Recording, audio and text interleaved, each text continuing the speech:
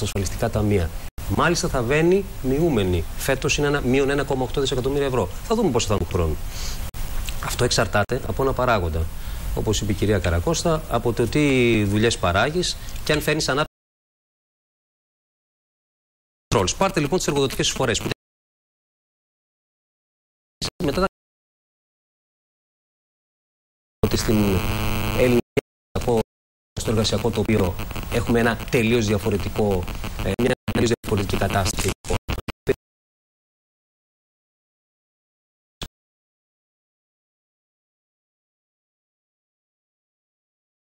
είναι λιγότερο. Πάντω η οικονομία Αυτό, άντεξε. Το λένε και. Άντεξε, και, άντεξε αν είσαι κατεστραμμένο, βεβαίως άντεξε.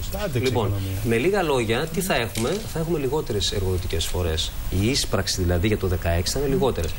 Ρωτήστε τον διοικητή του ΙΚΑ τι περιμένει από έσοδα, θα είναι τα ίδια τα έσοδα; Το, 15, το 16 από το 15. Τι θα σημαίνει αυτό; Η μείωση των εργοδοτικών εισφορών απέφερε, Βέβαια, κύριε Καραγκούνη. Βέβαια, βεβαίως απέφερε. Απέφερε γιατί είχε περισσότερα έσοδα το ΙΚΑ, είχε περισσότερα έσοδα τα ασφαλιστικά ταμεία. Στην καταπολέμηση της ανεργίας. Και γι' αυτό συζητούσαμε. Πάντως ο κύριος Ρομπόλη λέει ότι ούτε αύξησε την απασχόληση, ούτε ναι. ενίσχυσε την ναι, ανταγωνιστικότητα. Η, η χώρα, δεν θέλω να ξαναξέρετε γιατί αν αναφέρω πάλι τους αριθμούς, η χώρα γύρισε σε ανάπτυξη 0,8. Η χώρα είχε λιγότερους ανέργους από τότε που την παραλάβαμε τα πράγματα πηγαίναν καλύτερα. Και αυτό είναι το, το μεγάλο πρόβλημα το 2015 και ειδικά το 2016. Mm. Έπρεπε να ήταν η καλύτερη χρονιά μας. Το 2016, όπως εμείς το είχαμε προπολογίσει το Δεκέμβριο του 2014, ήταν η καλύτερη χρονιά. Και τώρα ξέρετε, θα βιώσουμε τη χειρότερη χρονιά. Να σας πω τώρα τι γίνεται με τις κύριε συντάξει. Και το κατάφερε αυτό ο ΣΥΡΙΖΑ δηλαδή. Βεβαίως, ένα χρόνο, ε, βέβαια, έκλεισε κατά μην τις τράπεζες. Δηλαδή, τι άλλο μπορούσε δηλαδή, να κάνει. Αυτός που δεν έκανε, αυτός που δεν έκανε καμία κυβέρνηση 100 χρόνια, το έκανε μια κυβέρνηση μέσα σε 5 μήνες. Βεβαίως, εδώ θα υπάρξει το πρόβλημα τώρα. Ξέρετε γιατί; Γιατί οι εισφορές θα είναι λιγότερες, ο πλούτος που θα παραχθεί θα είναι λιγότερος και τι θα γίνει; Ή θα αναγκαστούν μέσα σε ένα πεντάμινο από τώρα, σε 5-6 μήνες από εδώ τον Ιούνιο, θα την κάνουμε πάλι αυτή την κουβέντα. Θα συζητήσουμε. Ναι. Θα είμαστε εδώ πάλι. Εκεί θα χρειαστεί για μένα προσωπικά, εγώ πιστεύω θα πάνε σε μείωση τότε των κυρίων συντάξεων αναγκαστικά, διότι, διότι διαφορετικά θα προσπαθούν να βάλουν από όπου μπορούν φόρους. Κοιτάξτε τώρα τι κάνανε. Κλείσαν τις τράπεζες. Αναγκαστικά ο κόσμος κάνει ηλεκτρονικές συναλλαγές. Δηλαδή, αφού το κλείσαν το τραπεζικό σύστημα και έριξαν όλο τον κόσμο στη φάκα, δηλαδή να πάει να κάνει συναλλαγές μόνο ηλεκτρονικά, δεν μπορεί να κάνει διαφορετικά ναι. συναλλαγές, τώρα σου λέει να βάλουμε φόρους συναλλαγές. Λοιπόν, Εντάξει, εγώ θεωρώ, για πάνω εγώ από θεωρώ, ευρώ εντάξει, ένα της χίλιη. Και εντάξει, να μην κοπούν οι ε, Δηλαδή, όσο μπορούμε, όσο μπορούμε να μειώνουμε το εισόδημα του Έλληνα. Λοιπόν, προσέξτε τώρα. Πάμε τώρα στην ουσία. Εγώ πιστεύω, εγώ πιστεύω στο εξάμεινο, εγώ πιστεύω τον Ιούνιο και μετά θα κοπούν οι κύριες συντάξεις. Ε, διότι αναγκαστικά, διαφορετικά θα προσπαθούν να βάλουν φόρους, θα προσπαθούν να βρουν από, από αλλού χρήματα. Ένα ζήτημα το οποίο θα ε, λόγω της αδυναμίας που θα βρίσκονται και της διαπραγματευτικής αδυναμίας που βρίσκονται, θα αναγκαστούν να δεχτούν και την περικοπή των κύριων συντάξεων. Ήδη έχουμε περικοπή. Τώρα, αυτό που λένε. Κοιτάξτε τώρα ποιο είναι το πρόβλημα. Ένα Κοιτάξτε λεπτό, ένα λεπτό να, να, τα βάλουμε όλα στο τραπέζι. Αυτό που λένε ναι. για ένα ΦΑΤ, για τον γνωστό κουμπαρά, που θα έχουμε τα έσοδα από αξιοποίηση κινητής και ακίνητης περιουσίας των ταμείων, που θα έχουμε έσοδα από τις αποκρατικοποίησεις, που θα έχουμε τα πρόστιμα από την ίσφορο διαφυγή, που ενδεχομένως μπορεί και να πει και ένας φόρος, ένα τέλος στη συμβάσης παραχώρησης δημοσίων έργων. Όλα αυτά δεν μπορούν να παίξουν κάποιο ρόλο στο να μην μειωθούν οι κύριες συντάξεις; Ε, να παίξουν βεβαίως και να παίξουν ρόλο. Πρώτα απ' όλα είναι ένα ζήτημα συμφωνίας που πρέπει να κάνουν τους δανειστές. Εγώ δεν τους βλέπω και πολύ. Ό,τι, ό,τι λένε οι δανειστές, αυτοί λένε ναι. Δεν μου πει ένα όχι. Συγγνώμη που λέω τώρα.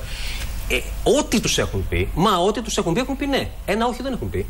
Και για το ζήτημα της ανθρωπιστικής κρίση. Είχατε πει και εσείς ναι. πολλά όχι. Είχαν πάρα, πει πάρα πολλά. Το ζήτημα της ανθρωπιστικής κρίσης, αντί εμεί ξέρετε, το 2014 μοιράσαμε 500 εκατομμύρια ευρώ. Εδώ μιλάμε για κάτω, κάτω από 100 εκατομμύρια ευρώ, γιατί περί αυτού πρόκειται.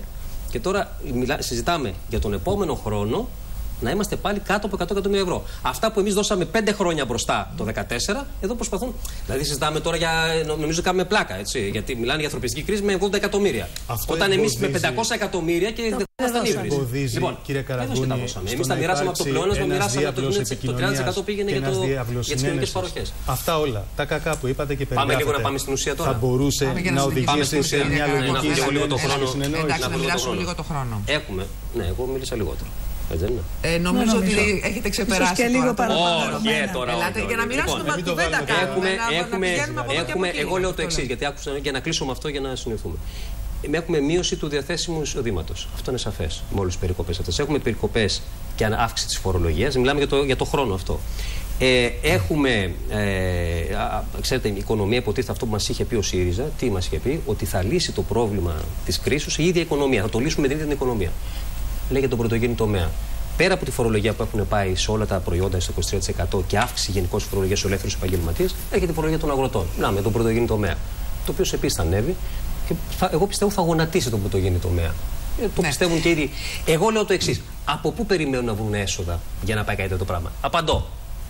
Συμφωνούμε ε, ότι πρέπει να τρέξουμε πολύ πιο γρήγορα, ξέρω εγώ, τις ε, αποκρατικοποίησει για τις Πάντως ε, φαίνεται ναι. ότι τις προχωρούν. Συμφωνούμε. Τουλάχιστον το ε, σχέδιο ε, που παρουσίασε το ΤΑΙΠΕΔ, κύριε Καραγκούνη, ναι. μα εξέπληξε. Εγώ σα πω κάτι. Εγώ σας πω κάτι.